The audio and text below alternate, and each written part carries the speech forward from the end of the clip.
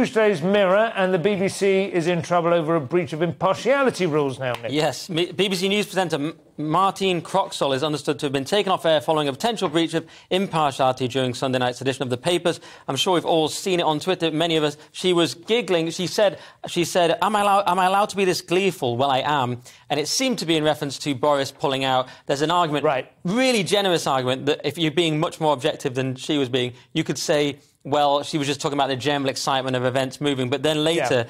when someone made a joke about Boris, she was giggling and she said, I'm probably breaking some terrible due impartiality rule. Yes, you are. That's why there's a license fee. So it's pretty appalling because she was less objective than I would be on a show with no license fee. That's yeah. a comedy show where I'm actually on it to be conservative. She's at the BBC. And what's really unfortunate is I know people who work hard behind the scenes at the BBC to maintain standards. And then you just get arrogant presenters who just don't care about all of that. They're in their bubble. They're just yeah. like, it's Boris is gone. This is great. We're all having a great time. And it rightly really annoys people because you're paying yeah. a license fee for impartiality. And I suppose you, I mean, uh, well, uh, just to play devil's advocate on that a little bit, it might depend to some extent on the context. Maybe uh, the papers, I mean, I mean, this sounds like this, I haven't seen it. It sounds like it's our direct competition. This, yeah. But, but it, it, I mean, we do it as an entertainment show, right? And I know we're not the BBC, so we are not under well, the same the remit, but we do try and get impartiality because we get both sides. Mm. Yeah, but at the same time, we might have a bit of a laugh about it. Yeah, yeah, yeah. But and, and it, no, but this is this is the BBC, and. Mm she she just thought she could do it. If you're Emily Maitlis, you sort of get away with it because of your status.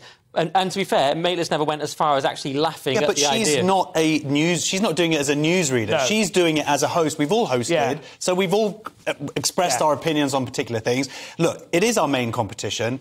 It's rubbish. They've got like little box talking heads and yeah. whatever. But what she, what's frustrating is if you look at the original clip that went viral, they cut together these two bits together, which is like yeah. her laughing, and she's not laughing at, but she's laughing at a specific joke about she's it. She's not laughing at the general work. No, she, and so that she's, she's like, I'm excited. She says, I'm gizzy excited. I think she is. There's an argument there that she was actually. There's an argument, but, but well, okay. Well, the first bit she doesn't mention Boris at all. She's talking about like the fast-changing news, like how exciting it is. Later on, that's cut next to a bit much later in the show where uh, one of her guests makes a joke about Boris Johnson, and she laughs at it and says, "I'm breaking the rules of impartiality." Those yeah. two bits were put together and now a big hoo-ha has been made of it. I think the BBC News is one of the weakest parts of the BBC service. I myself have argued very much against their uh, supposed impartiality or whatever because they, mm. they've been so wrong on so many different things. But on this particular thing, it upsets me because it's it just they're making Trivial. big big and it does look it's an odd thing for the mirror to go in hard on isn't it yeah just the mirrors sort of, I remember the, I know this is not quite the same thing but you remember during the um, the Clinton uh,